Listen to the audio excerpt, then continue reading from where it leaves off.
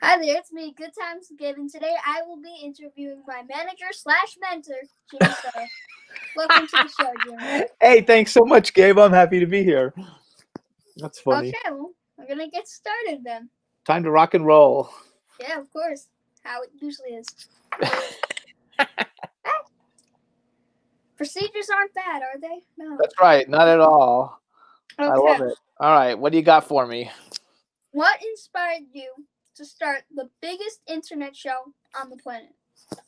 Um, you know, uh, back in the day, there was a um, there was a uh, TV show like a long time ago. It was called Queer Eye for the Straight Guy, and it was a it was a TV show. Uh, and when I lived in Florida, I got asked by one of the biggest radio stations in the world to be the fashion guy on it.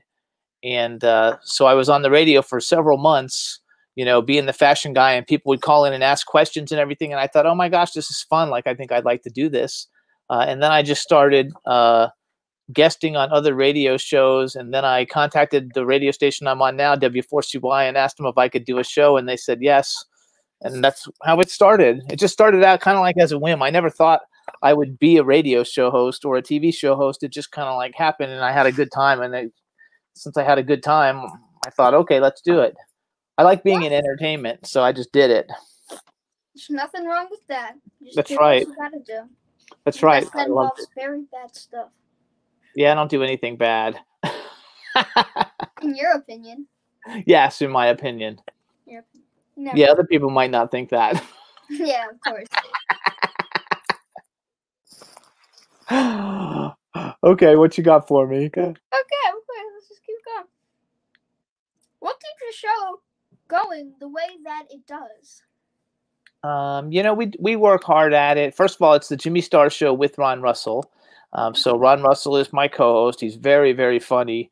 Um, so I think a lot of people tune in because they never know exactly what he's going to say. And uh, I'm kind of like the more serious one on the show. And you know, to keep it going, we work very hard at it. Y'all, just like you, you always have to try to find good guests, and you have to try and get out and promote it. And you got to try and build a fan base so the fans tune in every time. And uh, so it's a lot of work um, but it's also like a lot of fun and everybody's always gunning for me since we're the number one show in the world everybody's always gunning for me and that kind of like drives me also to to you know stay on top as long as i can and the biggest thing though is just to have fun i like i get to have fun i get to talk to like people who i've always you know liked or like their movies or i like their music or i like something about them and so it makes it a lot of fun Oh, well, sounds great. But if people want to hear more about Ron Russell, they call it the Ron Russell Show with Jimmy Star. So think about that. It's the Jimmy Star with Ron Russell Show. That's because I actually had the show for four years before I met Ron. Um, and so like I started out, I started out just as the Jimmy Star show. And then when I met Ron, he came on and then we added the with Ron Russell because I had already branded the Jimmy Star show and I didn't want to lose the title. Um, Um, so you just so- added the quick with Ron Russell. And it's like, Yes. we're all good now. Plus like in a movie, like in, like if you watch old movies and stuff in the old days, they would always say movies, they'd put the stars of the movie and at the end they would say with whoever the biggest stars were. And so that way it kind of like makes him the biggest star. I see. Okay. Next question. You want to talk more about you being a famous clothing designer? We can. I um that's how I actually got into the entertainment industry in the first place. I started making really cool clothes and they were all one of a kind and I only made one of them and I had three stores in Fort Lauderdale, Florida and uh, um, I made one of a kind cool clothes and and I used to go to different uh, places uh, I would go to like um, conventions and comic cons and things like that and I'd give away the clothes to the famous people and uh, to get pictures with them in them. And that's how people found out about me. They saw the famous people wearing my clothes. Uh, and then when they saw the famous people wearing my clothes, they wanted them. And then they would all come shopping. And that's how I built the whole business. But I dressed all kinds of cool people. Like I dressed everybody from the movie Hellraiser. And I've dressed like Carmen Electra and Dave Navarro and like a whole bunch of people from The Walking Dead. And, um, I don't know, pretty much every horror movie star in the world, Expose, Elton John, like just all kinds of really big and famous people. And that's kind of how I got into entertainment that put put me into the next level of where I'm at now. It was a blast. I had a good time. I don't know who I would have done though that you would know because most of them are older. But everybody in the horror movie industry has, has worn my stuff. Like if they're really big and famous in horror, they've probably worn my clothes. And that's my favorite thing is horror movies. Does that involve authors like Stephen King? No, but authors like Clive Barker, um, who's like the second biggest horror. Stephen King's number one and Clive Barker's number two. But I've never actually met Stephen King, unfortunately. Hey, maybe you will. Maybe No, abs- I will absolutely. Yeah, Everybody, everybody is just like you. You know, like you're like interviewing me now, and like you know, a year from now, you'll probably be interviewing like Lady Gaga or somebody like really huge. So just just gotta like keep building it as you go along, and and never be afraid to try things. Like I've got brass balls, so like I might not get everything I want, but I'm not afraid to go after everything I want and just see what happens. And then eventually you'll get it if you keep trying. You see, this is why you're my mentor. That's right. You throw enough shit up on the wall, something's gonna stick. Very weird analogy, but I'll it. you gotta love it. You don't have to choose to. That's right. Now, know, one of the coolest PR companies in the world. What Mhm. inspired it? Actually, my partner, who you know pretty well, is Eileen Shapiro. And actually, it was her idea to start a PR company. It was not mine. Um, we went on a great ghost hunt um, uh, that we made our comic book out of, Celebrity Ghost Hunters. And uh, we went on this great, like, uh, ghost hunt. We had a really good time, and it ended up that all the people on the ghost hunt, we all met each other through the same publicist. And Eileen contacted me after we got done, and she said, "You know, do publicists come to you all the time and ask you for help?" And I said, "Yes." And she said, "Me too." And she's like, "We should start our own company." And I said, "Okay." And so we started our own company, and we were successful like immediately because we both had a lot of knew a lot of people who needed press, and we're both really good at what we do, and we get along great. And uh, so we started it, and now we're four like years later, I think. Um, and we're working with some really big, fun people, several who you've met because you've interviewed them on your show.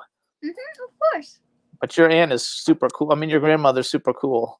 Your aunt. I don't know where I came up with that. Jesus. It's Nana. It's always Nana. It's It's- oh. Nana or Glamma. okay. Oh, or It's Glamma? Glamma. Okay. That's funny. Okay. I like Nana better. And now because you started business with her, you're stuck here editing my videos and watching them and controlling them. yes. Now I see. So I'm in the. I'm. I'm actually a part of future in the making of the next great journalist, and the next great interviewer. You know, in ten years, I'm going to be able to say when you're like on major television and interviewing like all these huge people, I'll be able to say, "See, I knew him when he first started out. I was like the engineer of his show, you know, and now he's like this big, huge superstar, and uh, it'll be fun." Yeah, hundred percent. Do you want to? What is it that you want to do? Do you want to be an interviewer? Do you also want to like be in movies and that kind of stuff too, or what's your what's your like ultimate like? Would you like to do? My main goal is to be an actor because Okay. I think that's a lot of fun. Can give you a bit of money for the future because I plan to go to a good college. And then you get to say how I had my movie in this name, or I had my name in this movie or show. That's good. Okay. I've And been in a bunch of to them. know your name and get inspired by you and start the whole next generation. Even though technically I am this generation, Yes, you are. but start now. You influence the next generation. Well, your your your Nana and I are working on a bunch of films, so hopefully we'll get them all financed, and then we'll be able to get any films that need children's roles. We'll get you in. Of course, because I'm a natural. That's absolutely you are. Okay, well, next question. What was your best and most fun interview? John Barrowman. So John Barrowman was in. Did you ever you ever heard of the TV show? Um, what's the TV show? Doctor Who. Have you ever heard of Doctor Who? I think I've heard of Doctor Who before. Like, I don't know what it's about, but I've heard the name. Doctor Who is like a British show, and it's like a about a time traveling, you know, doctor who's like kind of like a su- superhero and saves the world. And so John Barrowman was a feature was on that show a lot, and he was so popular on it that he got his own show called uh, I forgot what it was called. I have the action figure. He got his own show, and then when he got his own show, uh, it ran for a few seasons, and then he was on um, Arrow. Have you ever seen Arrow? About the Green Arrow? Well, he's the I like superhero stuff, so I like I watch all that stuff. And so then he was on Arrow. So we actually had him on our show, and he was our number one interview. It hit 10 million plays. 10 million. Yeah, so that's our best show that we've ever had. Most of our shows get between two and five million, but he got 10 million. You're here acting like, oh, two to five million. I'm lucky if I get 300 views. yeah, but Like, you're oh, only like just two to you're like six shows into it. I'm 14 years into it, so there's a big difference. Yeah, I guess 300 isn't bad 300 is good. Okay, now, what was your worst and driest interview? Oh, I have to give you my second worst because one of my worst is one of our clients. It's like, oh, he's not my client. We can say. Um, so I don't have too many that are terrible. You know what? We like shows. Uh, the best shows are shows where people get into a conversation and they don't just say, "Oh, did you see me in this movie, and that movie, and this movie?" But they actually have a conversation where you say something and then the, the guest says something and you go back for, you know, back and forth. Mhm. Um, um, so I'm not sure who the exactly who the worst one was. You know, we do we have several shows that only got like you know between like two and five hundred thousand plays probably. So there's a whole bunch of them. Um, but we do have had some guests that, that just haven't been that good because they don't give you good answers. You know, when you're an interviewer, you don't want somebody to just give you like a one word answer, like you say, "Oh, you know, what's your favorite color?" and they say blue you know, instead of saying, "Oh, my favorite color is blue because like it's the color of the sky," or I don't know, some stupid crap, but something, you know. But when people give you one, so anybody who ever gives you a one-word answer, they're the worst ones. My favorite color is black because if you screw up, get that color. So it doesn't matter if you screw up, you're getting it anyway. There you go. Actually, black and red are my favorite colors. That's why my color. I'm wearing black and red, and my and my company uh, colors for the Jimmy Star Show with Ron Russell. That's black, red, and white. Black, black, red, and white. Well, if you can look at my wall, it's um a black zigzag with orange. It looks like Charlie Brown's Yes, shirt, except I didn't plan for it to be like that. It just happened that way. Is it a lightning Yeah. bolt or is it just a zigzag? Well, the zigzag is um chalkboard black, so I can write on my walls. Oh, okay. Oh, that's cool. Mhm. Do you do that a lot, right on your walls? Um, not really. I have like these two walls at my door where it's like just completely open, so I can write the stuff there. Like I use Okay. it to write down my passwords and stuff because I'm always rechanging them because I forget. Oh, I always forget mine too, but I write them. In, I have books now. I have a book and I write everything down in it. And I literally on my desk I have like 15 legal pads. I have a different legal pad for everything, like so I can keep all my little notes. But it makes everything a mess.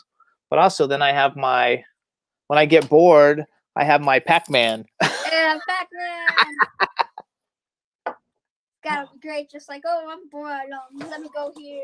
Sometimes, well, some yes, sometimes you know you need to just take a break and rejuvenate. So you play the game for 15 minutes, and then you like, then you're good, and then you're ready to go back to work again. Honestly, if it were Pac-Man though, I'd be so frustrated I can't go back to work. I'm not a hard. uh, I'm not. uh, See, I'm old school, so it's not hard for me. But I'm I'm not that good at it either, though. But like, I'm not really like a big gamer. I like a lot of the old games from when I was like, you know, 18, 17, and 18 is when like I was video games were kind of popular for me. Mhm. but they don't even you can't even play the games I used to play because I used to play like Robotronics was my favorite game. Robotronics, Joust, and Star Wars. Like when you fly the like X-wing fighter things and shoot everybody. Those are like my three favorite games, and I don't think you can even get those games anymore. Well, what um were they on? Like what platform? They weren't on platforms. We didn't have platforms, but we actually played video games from video game machines. You know, like we would go to arcades and play video games and stuff. Kind of Oh, like they, so they're like the arcade version. yeah, they're like arcade versions. Yeah. like Mario at first. Yeah, yeah, that kind of stuff. Yeah, I, I like Mario too. Actually, uh, Ron has a Nintendo Switch, so he plays he plays games, but primarily he only plays Zelda. Which is the best? Though? He loves Zelda. Does he play like the original, or is he playing like the newest version? He's playing uh something about the wild. Oh, Breath of the Wild is so much fun, but it's Yes. so frustrating because there's so many secrets in that game. Like when my brother and me play Mario games, like he's checking every or Mario Legend of Zelda. It doesn't matter what you're playing. He checks every single place because he's always thinking there's a secret. So uh, Ron's almost finished with it. He's like he's like uh, all I have to do is one more thing, and he finishes the whole game. So now he's not finishing it. So now he just goes back and plays other things because he doesn't want to end it. Because then he doesn't have a game to play. Because he doesn't really like you know any of the other one, any other No, games. you know what? Even when you beat that game, you can actually re go back and fight Ganon because that for some reason doesn't even solve the issue. Oh, really? Breath of the Wild, yeah, it doesn't even solve the issue. Like it will pretend like nothing just happened. Oh, I have to tell him that. Even if you do that, like there's still a ton more of the game. You gotta um rescue all the fairy fountains, collect all the best armor, you know, upgrade all your gear, find all and complete all the temples. Like there's still so much to do after. Even then, when you're done with all that, find the best horse, and just flex on your friends. You know. I like love it. So that's, uh, that was that one of your favorite games then, Zelda? Um. Yeah, I've spent over 96 hours playing it. Oh, Ron spends like five hours. A, yeah, he spends about that. He spent at least that much. So, how what do you play on? Um, well, I have my PC, which I usually do my interviews on. I have my Switch, my yeah, that's what he plays. and I've been playing my 3DS more and more recently. Cause Oh, I, I like that. I don't have one of those, but I like those. I always wanted one. I always wanted a three a Nintendo 3DS thing. I thought that would be fun, especially when you travel or you're on an airplane or something. Yeah. Those are my platforms, but good news, I'll be getting a new PC soon. So There you go. Yay! And that's when I'll finally be able to start recording my gaming for real. I'm gonna give this one to my sister, and then I'm gonna buy Minecraft for her, and we're gonna have a series where I troll her. Okay. Do you ever play on Twitch? Um, no, I haven't done Twitch yet. I'll explain more after the interview. Well, Okay. There's just reasons why I don't do Twitch, but I will be doing Twitch soon. Okay. Okay, good. I like love it. Okay. What kind of movies do you like? I'm not a big fan of movies because I just don't like sitting for hours. Like I don't mind when it's TV because it's some it's a new plot every episode. But when it's a movie, it's the same plot for three hours. Like I can't unless it's a mystery. So, So what kind of TV shows do you like? What What's your favorite TV show? Um, usually I just watch the popular um kids comedies because Okay. I'm like that. But I've watched every Simpsons episode at least twice, and I'm re-going for a third time. Okay. Storage Wars is fun because that's kind of like a mystery. Oh, I'm I'm friends with Darrell Gambler. Darrell Sheets, the gambler. He's a good friend of mine. Oh my god, he's like one of my favorite guys on the shows. Oh, I could probably get in touch with him and see if he'll come on your show. He might. He's a pretty nice guy. Um, which one was he in? I'm trying to remember. Darrell Sheets. I think Darrell he was like in like Texas. No, Uh, no, I'm not sure which. One. First of all, when the when the when the show first came on, it was just Storage Wars in one location, and he was like the star. He was on it for years and years and years. Now I don't No, know if he's like- still on it. the one he's on, I think there's around 13 seasons. Yeah, that's the one he's on. Yeah. That's the one he's on. He's a good friend of mine. I haven't talked to Um, him in a long time. Texas. Um, it might be California. Might be California. I haven't talked to him in a long time, but I know that he's uh like I just saw a post of his on on. Uh, I've had him on our. We've had him on our show two or three times. Oh, hang on. Ron, professional turn. Ron turned on the TV and I, he opened up my door. So hold on. This town. Okay, I'm back. Hashtag storage. Sorry about that, everybody. I could hear the TV in the I could. background. But I'll fix that. Yes, but Darrell's very cool. I, I'm also friends with John Lukes, and he's the guy who uh, I think he's the guy who does the the bidding thing, like you know where you talk. Real fast. Yeah, in New York. He's Yeah. on the New York one. Yeah, I'm friends with him too. I'm pretty sure he does a lot of um the biddings. Yeah, he's a cool guy. Uh, he was in a movie of a friend of mine called uh, I don't know, it was a zombie movie. I forgot the name of it. Zombie with a shotgun. That was the name of the movie. Yeah, zombie with a shotgun. A friend of mine made that movie in New York, and John Luke was actually in it. That sounds like an interesting title for a movie. Um, yeah, it was. A, it's actually not a bad. It's got a video game too, John Zombie with a Shotgun, but I've never played it. What are you gonna do? Do you ever watch any horror movies? No, I get scared. No, I'm not one of the people who can sit through horror movies. Oh, I, that's Even like. horror shows. Like people watch Stranger Things. I'm like, goodbye. Oh no, I love all that. That's my I thing. just can't. I don't know why. it gets to me. That's okay. It's not for everybody. Everybody doesn't like it. Uh, my room is filled with horror things, so like that's my thing. I see the clown mask in the background. I know. That's from Halloween. Rob Zombie's Halloween. Uh, it's autographed by the star who played young Michael Myers, who's a friend of your mom, who's a friend of uh, Nana's and mine. Uh, he's a cool kid. He's not a kid anymore. He's like in his twenties now, but he used to be a cool kid. It's not cool anymore. No, he's cool now too. But as a kid, he was really cool because he was like, you know, chopping people up at 13, you know, knifing them and killing them, which some people like. I like that. I just think it's fun. I don't take it serious, you know. So it's, for me, it's just a, an escape. But superhero movies and uh, horror movies are my two favorite, and I collect superhero action figures and horror action figures. Well, superhero mystery. That's how I gotta go. Aquaman was great, even though it was pretty cliche. I loved it though. I think Jason Momoa is awesome. Yeah, I agree. I have a I have an autographed Jason Momoa Funko Pop. Really? Yep.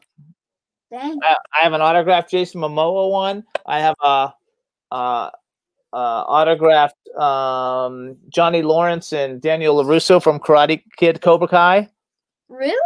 I have an autographed uh, Harry Potter, and I have an autographed Stan Lee. It's Stan Lee autograph. Yep. He's not handing out any of those anymore. I know, so I'm happy I've got it. And I also have Kara, the lady who, uh, who plays Cara Dune. She was uh, from uh, The Mandalorian. I got recently.